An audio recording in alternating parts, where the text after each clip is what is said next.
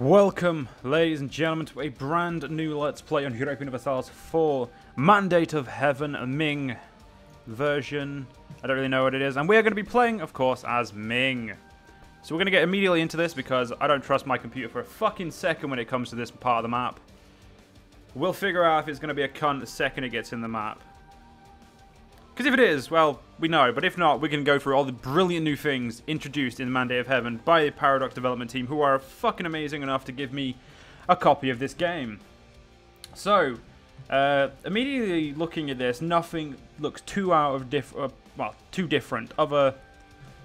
No, oh yeah, Calm, that's new. Yusang, that's different. Uh, there's a few, there's a few different discrepancies in between the old and new, which is good. I mean, I like new things. Um, I don't really see too many new um, uh, things on the map in particular. I can't don't see too many new factions. Then again, it has been such a while since I've been in this region that um, there could there's probably a host of new things, uh, but I just don't notice them. I know I do know the Ashikaga Shogunate is a um, a new thing. Let's just quickly open all this. Let's move that up. Right, so first we're going to look at is Discover Age of Discovery. Because there are ages now in EU4, and EU4 I think this is something that we needed a long time ago. But I, I would never have known how to do this, and I am so glad that they've just they figured it out, and it looks brilliant. Now, there are four ages, I believe. Uh, Age of Discovery, Ref uh, Reformation, Absolution, and Revolutions. Um, now, I believe that is the exact way it goes. Um, there are various things about this that we uh, we can do. There are obviously um, there are these modifiers where we, um, if we do it, I don't know if we. I think. I think everything we do, we get uh, to. I think we get like splendor, and we spend splend. Yeah, we spend splendor on here. Um, and there's other stuff that comes with it. So these are all the ones we currently have control center of trade and a large city. Uh, all the other ones are not um, available for to yet. But um, yeah, so we can then spend uh, spend splendor on uh, areas of this, and we can also start Gold Age which uh, just does really good stuff for us. Uh, so we'll get more into this when we need to. At the moment, uh, we don't really need anything. There's nothing special about this for us. I mean, I think I think it's Age of Absolution that's special for us. Uh, yeah, Age of Absolution. So until then, we're not really going to be too interested in this. But what we are going to be interested in is the Empire of China. Now, we have uh, the meritocracy of 99. Goes down by 1.2, every year. Uh, training in China where make sure he doesn't go down by two.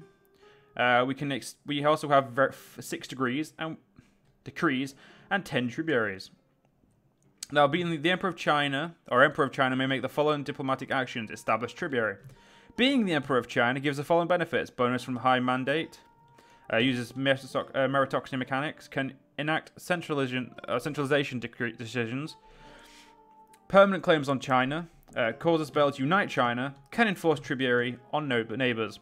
We also have the central reforms, which require us to have a mandate, uh, a level of certain level of mandate, which is here. Uh, we gain mandate from having loads of tributaries.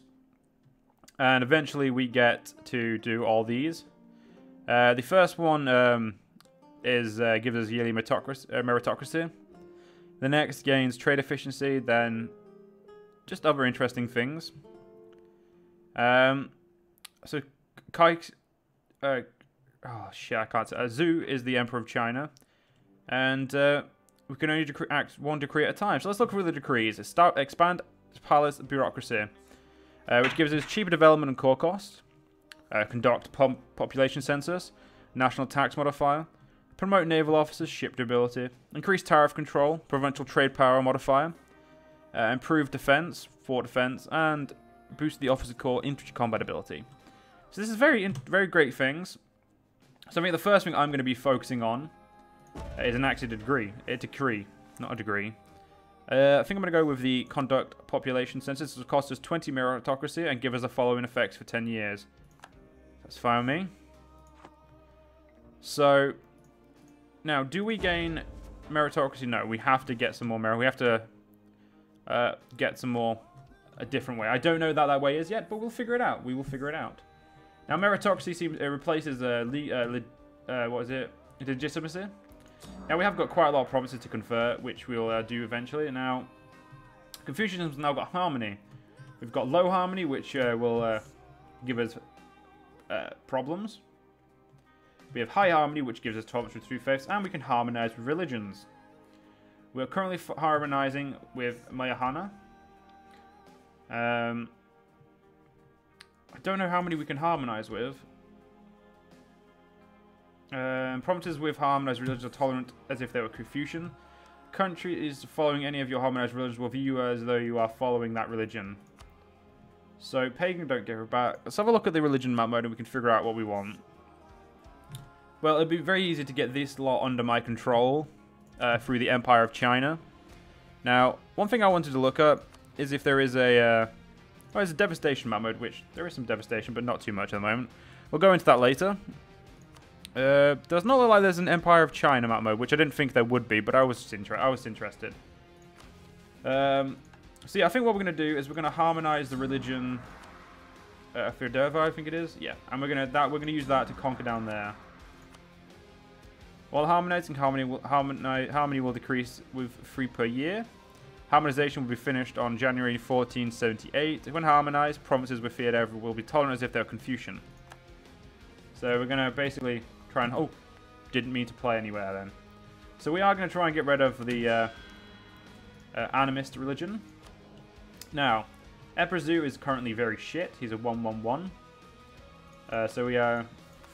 We, uh, we're going to probably have to hire some people. We do... Um, are, we are a Celestial Empire, so we gain yearly prestige, and embracement of uh, institutions isn't very good, um, so that's unfortunate.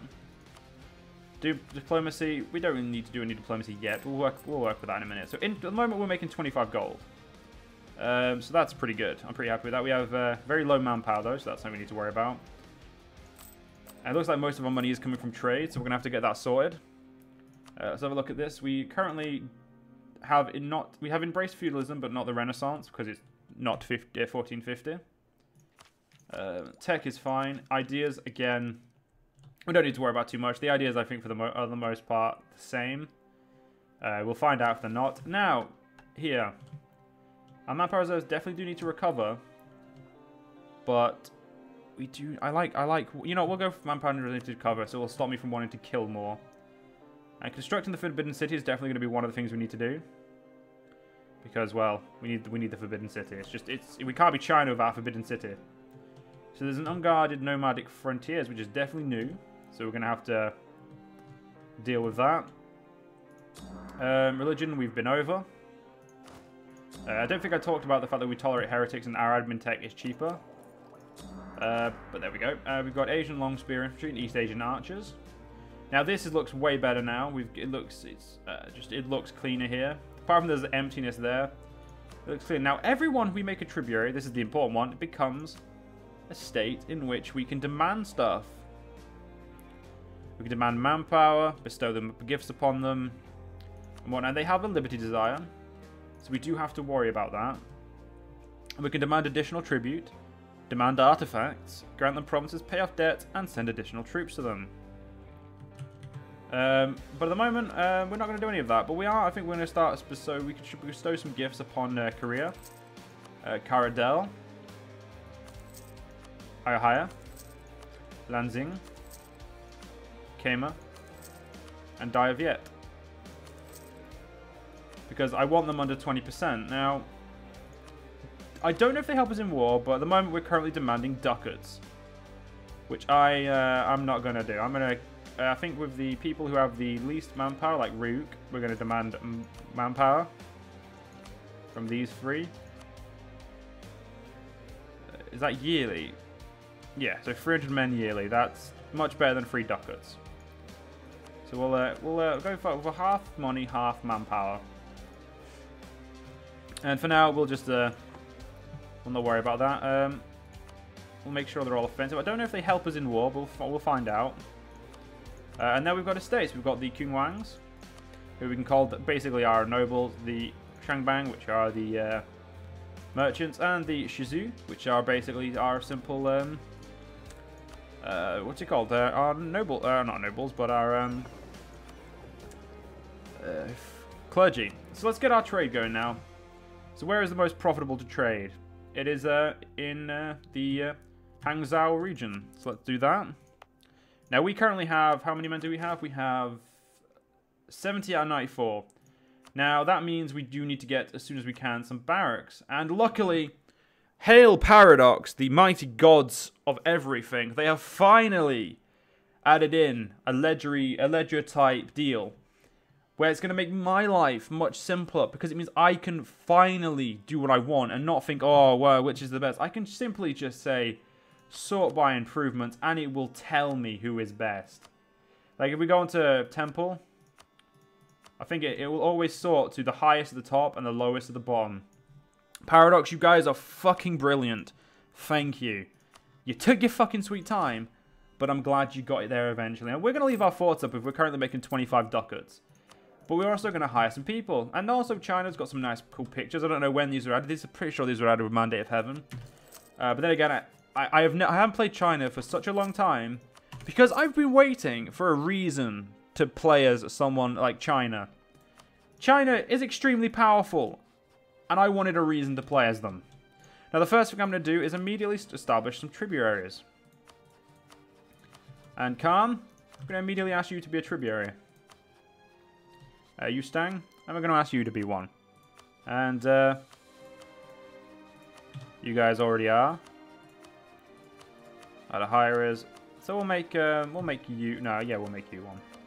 So that's my first move. Uh, I'm to move my armies uh, to the frontiers or whatever.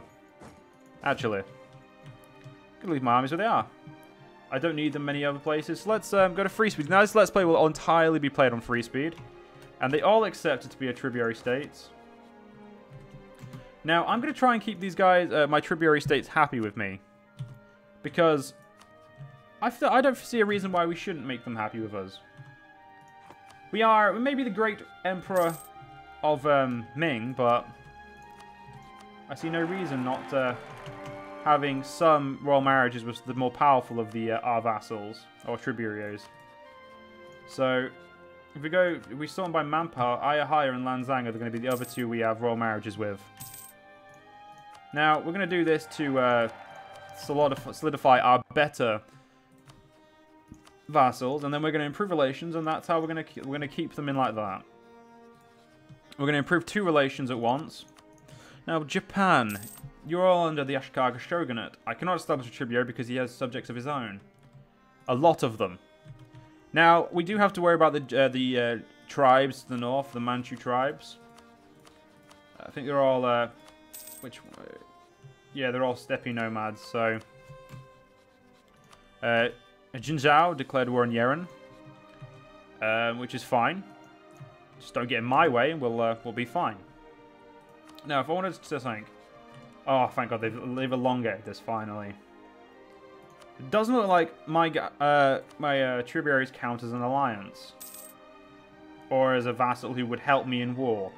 So that's unfortunate. Uh, we're going to have to uh, find ourselves some alliances. Um, Japan at the moment does not want to ally with us, so we're going to improve relations with them. So it looks like we're going to be basically improving relations with everyone at the moment. Now, of course, I'm going to constantly just accept income. Now, you can also voluntarily declare bankruptcy now, which is amazing. I mean, I don't... Also, uh, sometimes I don't see the point, but it, I mean, it, it can be used pretty well. We are unfortunately still going down, which means we do need a few more tributaries. Uh, so while I think about it, we should probably immediately get rid, get on as many tributaries as we can. So I'm going to stop the uh, ideas there. And let's we're going to use this map mode to just figure out where we haven't got here. And the hordes are uh, declare, doing what hordes do best. They're declaring war. You are currently under a higher, so means you're basically a part of me anyway. Pegu does not want to be one of my tributaries, but you do. Congratulations, you guys are all tributaries of mine now. Now, I'm going to try and get us up to, so we're actually, we're able to uh, reform our um, imperial, uh, imperialness. Now, as this is adding no adding no problems to me, like this is not adding any uh, relations, uh, not causing me any problems, I'm going to keep going until I'm not, like, nobody else will... I declared war on our tributary state.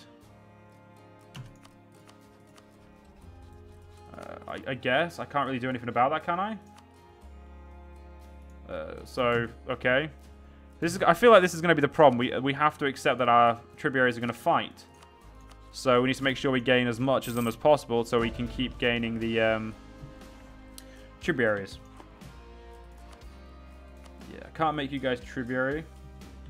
Apparently, okay. Uh, ah, Mongolia is a vassal under the Oirat. That explains everything. Make you guys our tributary. And you. So at the moment, we're just basically working our way around, finding as many uh, tributaries we can make, and making them tributaries. Now, why do you not want to be a tributary? You have 44 development, so you've decided that you don't want to be.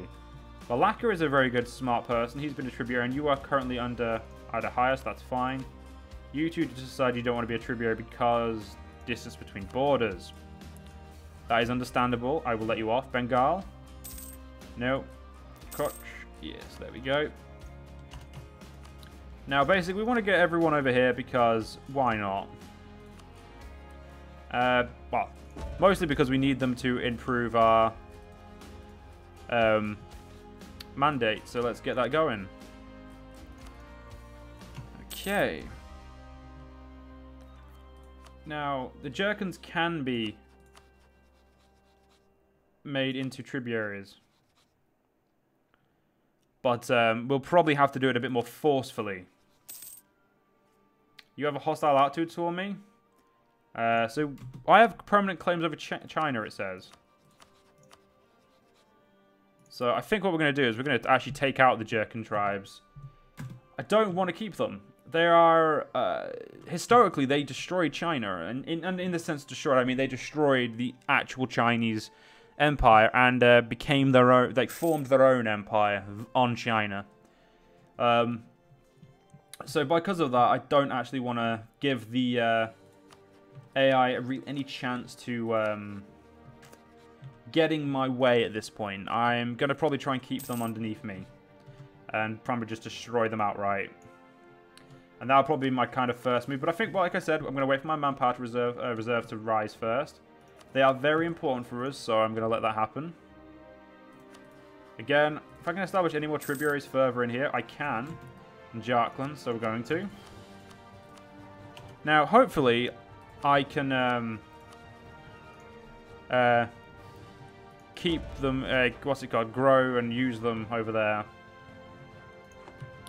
Like I can defend my uh, people I've made into my tributaries, and that way they don't. I don't just make them my tributaries like they actually are my tributaries. Like I don't have to. Like I can defend them. I can look after them. I can help them. Um, but uh, we'll see. Uh, what's this? The strategist, strategic decision after Zheng He's journey. Around 1400, China's relations with the world, outside world began to change.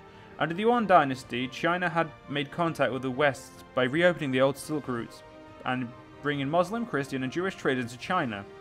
The expulsion of the Mongols in 1367 and the seizure of power by Ming, by the Ming, reversed the process that they were that they were trying China that were tying China more strongly to the outside. Following the seven expeditions, 1405 to 1433, of Admiral Zheng He, who sailed the imperial fleet to the Indian Ocean and to the coast of Africa, China folded in on itself and closed off its exter internal external connections. So, point-wise, um, I mean, military-wise, barracks is at level 6, so I think as long as we can uh, dis uh, display military dominance, I think we'll be fine. So we're going to go for outward expansion. That's what we're going to focus on and get ourselves a little bit further towards it. Because it is a lot more important. So that's what we're going to do. So, what do I need to do now? I mean, I've got myself some uh, tributaries. Um, I'm the greatest power in the world, which it's unfortunate, but I mean, Ming has got the biggest changes to it, so I mean, I'm not going to complain. You just do not like me, so I may destroy you. You're allied with Jin Sao. So I'm going to think I'm going to ally, ally myself with Haixi. And then I'm going to use them to uh, destroy the other guys. Now, I really am interested in whether or not these tributaries will come to war with me. While I think about it, I do have um, lot of you guys now. So let's uh, gonna go with a bit more manpower just to keep myself a little bit happy there. Now, have any of you above 25%? No. Uh, so yeah.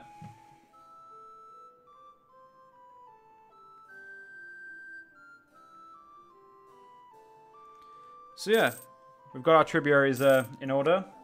Um, but unfortunately, ladies and gentlemen, we are going to have to end the first part of the Mandate of Heaven China playthrough here.